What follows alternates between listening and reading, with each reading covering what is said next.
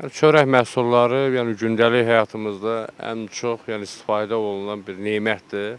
Yəni burada yəni qiymətlərin qalxmağı xalq tərəfindən görünür ki, yaxşı qarşılanmayacaq. Yəni ə, hər bir kəsin ailə büdcəsi, cibinə olan tələbata uyğundur.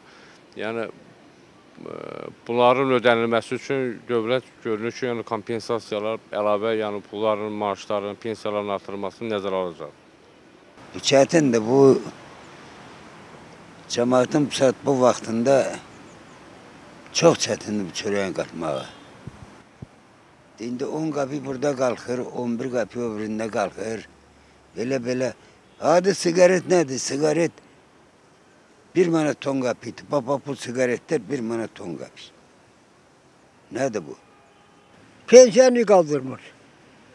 Pe Yaxşı, mən 180 manat pensiyalı, 180 manatını nə tər dolunma qazanarım? Yox, indi bizə də demək lazımdır ki, mən nə tər dolanım? 50 il mənim stajım var. Mən 180 manat ayda pul alıram, pensiya alıram. Özgə şey işləyə bilmirəm, gözüm görmür, qılsam yerimir. Qora kişiyəm, 90 yaşında. Bu pensiyamızı artırsın. Çörəyin qiymətinin qalxması ilə bağlı, yəni Azərbaycan kimi bir dövlət əslində olmamalıdır. İndi olubsa da yəqin dövlət bundan bağlı nəsə bir ölçü götürəcək. Yəni bu belə davam edən bir şey deyil. Yəni əs təsərrüfatda üstünlüyü əldə eləmiş bir dövlətdir. Yəni taxılçılıqdır, kənd təsərrüfatıdır, yüksək səviyyədə inkişaf eləmiş bir dövlətdir.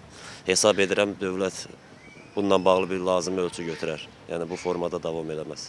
Gərək çörəyin qiyməti qalxmaydı. Neyin qiyməti qalxır, qalxsın. Çörəyin heç olmasa yavan çörək yeyib dolanaqdır, hə? Belə şey olmaz axı, belə şey olar. Cəmaat çətinliyi, iş yox, güc yox. Bəlkə yaşayış olmaz. Olmaz axı. Marşrutun qiyməti qalxır, taksin qiyməti qalxır. Bəlkə yaşayış olmaz axı, getmə olmaz. Belədir.